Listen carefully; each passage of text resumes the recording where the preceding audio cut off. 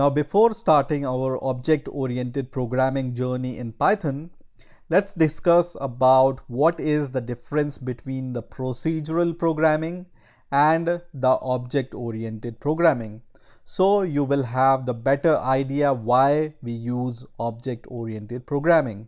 Now traditional programming languages such as C or Pascal were called procedural programming languages or structural programming languages where the basic unit was functions. Now programming in these type of procedural languages involves choosing a data structure and then designing the algorithm and then translating that algorithm into a code. So if this sounds a little bit confusing, let me try to explain it with an example. So let's say you have been given a task to create a program for a passenger who wants to travel from one place to the another place using a cab service. So if we think from the point of view of procedural programming, what we do in the procedural programming is we create some global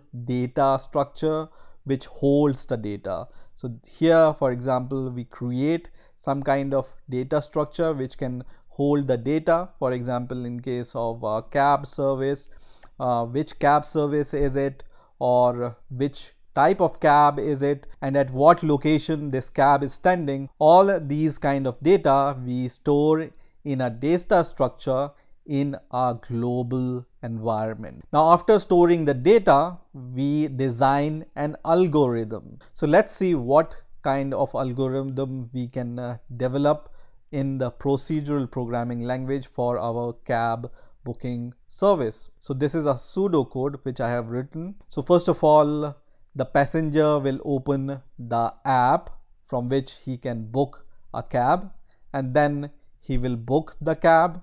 And once the cab is booked he will wait for the cab. And then once cab arrives he will sit in the cab and then he will reach to his or her destination. And at the end he will pay the fare of the cab.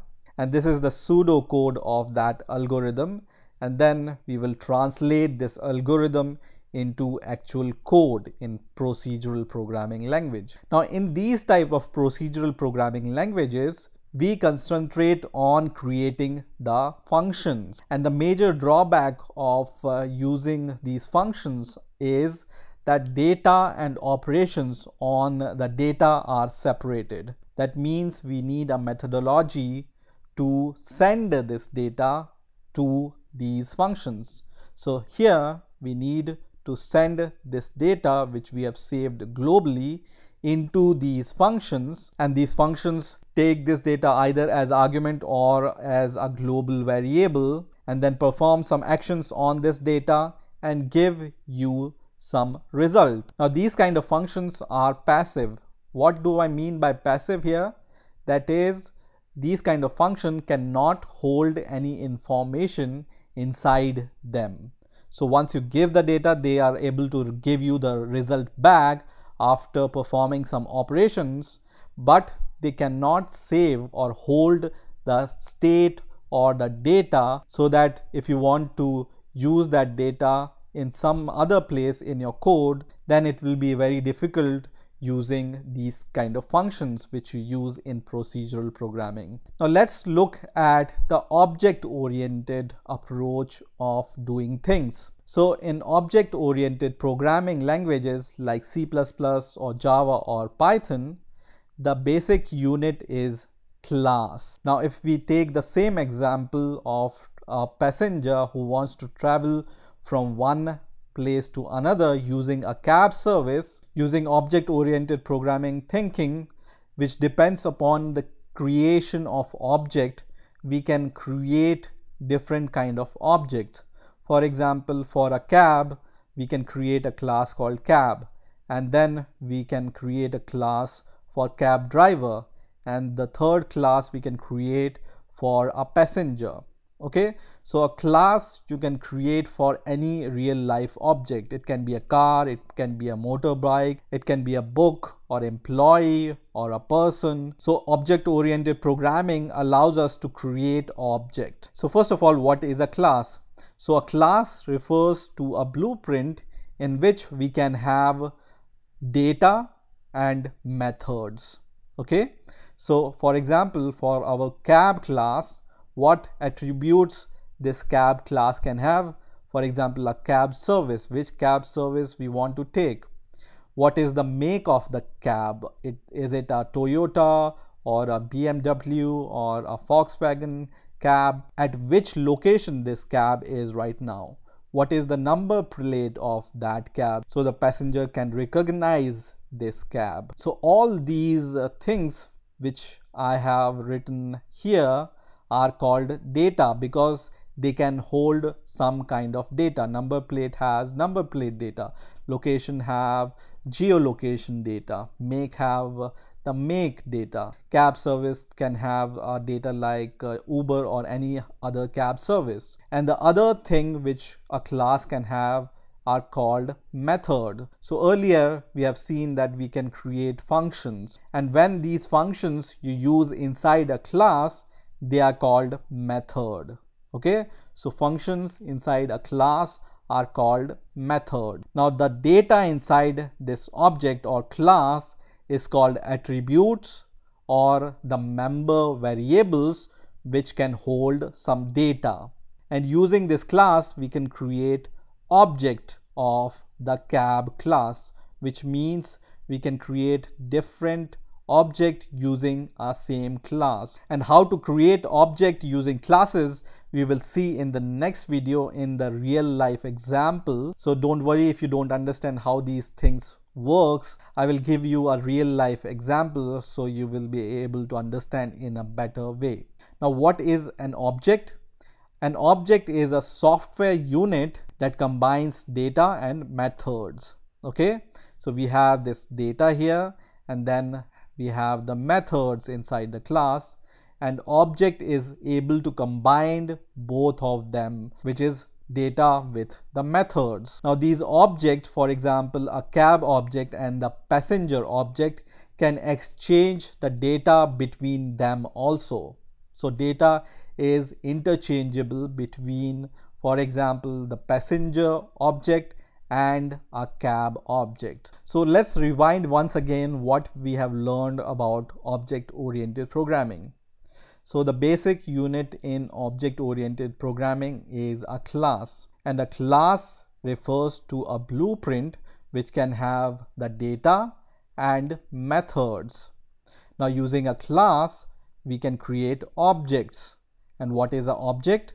Object is an instance of a class and each object can have its own data and method and an object is able to store the state of some kind. So at which location this cab is right now. So this is a state and an object is able to store that state. Now in procedural programming if you remember there is no relation between the data and the method, right? We need to provide the data to the method which are separate entities in the procedural programming language. Now these data members are called attributes or member variables and these functions which you define inside a class are called methods. And what are some of the key differences between procedural programming language and object-oriented programming language. The first is the unit in procedural programming language is function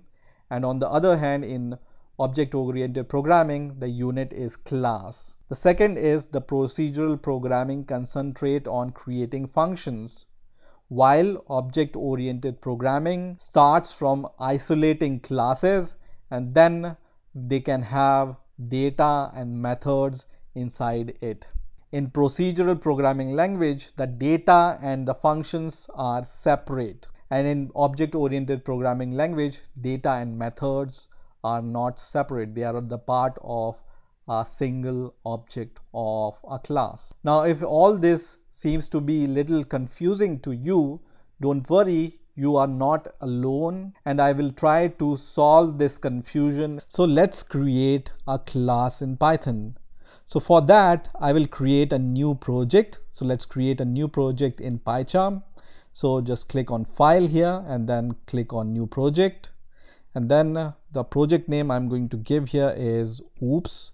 And then I will just click on create and I will uh, choose this option which says open in current window and also this option which is add to currently opened project which is going to create this project in this window itself which is already open. So now you can see we have a empty project here. And inside this project let's create a python file. So right click on the project and then new. And then we are going to create a new file. And let's create a class called car so i'm going to name the file name as car because we are going to create the car class. Now in order to create a class in python you use a keyword class and then you give the name to your class. So the class name in our case is car and then you give this colon and for example I write here a keyword called pass. Now when you write this keyword after the declaration of a class this means that it is an empty class. You can also use this pass keyword to create an empty method. So this keyword pass is used to create an empty class or an empty method. Now here after the class declaration let's see how we can create an instance of a class. So it's really easy to create an instance of a class. So let's create a first object and I'm going to name it as Ford, which is a car brand. And then you use your car class name and use these parentheses here. Okay. So this here, Ford, is an object or you can also say it's an instance of the class car. In a similar way, we can create multiple objects. For example, Honda is another car brand and you can create the Honda object using this class car. Once again, you can create a new object, for example, Audi, and then you can once again use this uh, car class to create this object. So what we have done till now, we have created three object from the class car. Now in the previous video, I told you that you can associate some data with your object. So let's associate some data. So for example, Ford, we can uh, associate a attribute called speed, right? So we can assign the speed, for example, 200 here.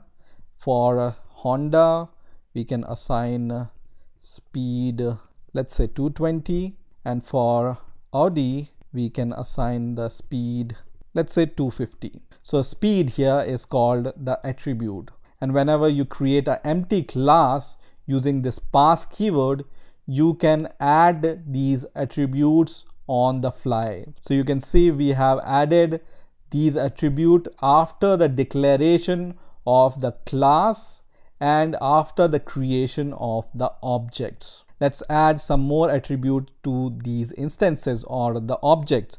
So a car can have the color. So i'm going to just write color and the ford has let's say the red color. And let me just copy and paste here. And let's say the honda have the blue color. And we have the audi of black color. So once again, color is an attribute here. Now, if you want to print these attribute, you can use this print method.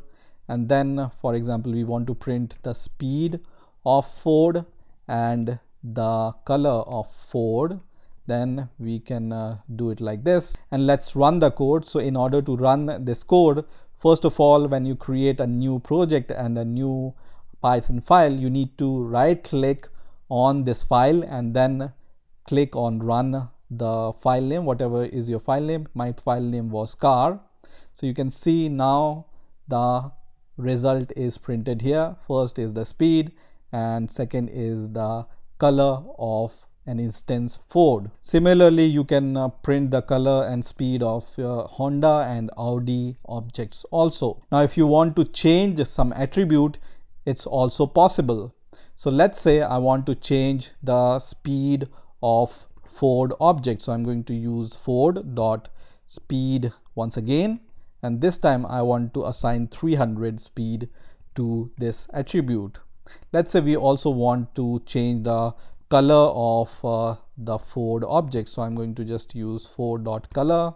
And this time I want to use the color blue here. And let's once again, uh, we will uh, try to print the color and speed of the object Ford. And now you can see this result. So before the speed was 200 and the new speed is 300 for the object Ford and before the color was red and the new color is blue for this object Ford. Now if you have followed the last video this speed and color is the data. So speed and color are the variables which holds some data inside them. But still we haven't added any behavior or methods to our class car and that we will do in the next video. Now let's create a new class because uh, understanding classes in any language is difficult. So let me give you another example.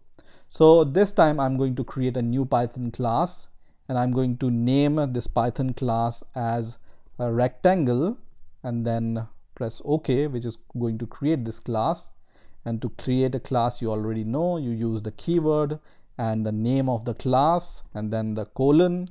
And we will also make this class an empty class using this pass keyword. And in order to create an instance I'm going to just uh, write uh, rect1 which is the first object using the rectangle class and then I'm going to create rect2 which is the second object using this rectangle class and now what are the attributes which we can relate to the rectangle. A rectangle have a width and the height. So let's add the width and height. So let me use the first object and let's say height is 20 for the rectangle 1 and then we are going to use the second object. And once again we are going to add the height for the second rectangle.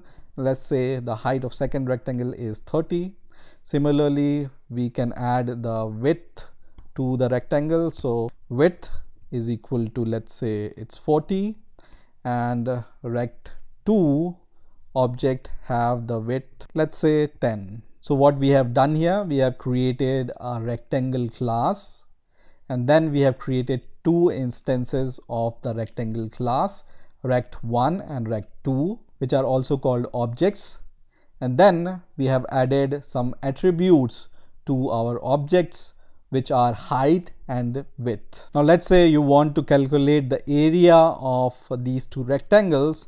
I can use the print method and then what is the area of the rectangle? It's the multiplication of the height and the width, right? So I can use this uh, rectangle one object and then I can uh, call the height and width of this object and this will give me the area of the rectangle 1 using this multiplication operator. Similarly, I will do the same for the object 2 here.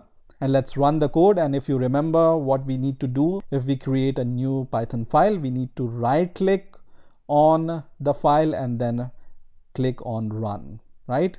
So once the file is running you can choose from here which file you want to run. But at least once you need to right click on the file and just click on run whatever file name you have so you can see the area of rectangle 1 is 800 and the area of rectangle 2 is 300 so this is how you can create a very simple class in python in the next video i'm going to show you how to add behaviors to your class. That means how to add methods to your class and how to use this method to manipulate this data which we have provided here in the form of attributes.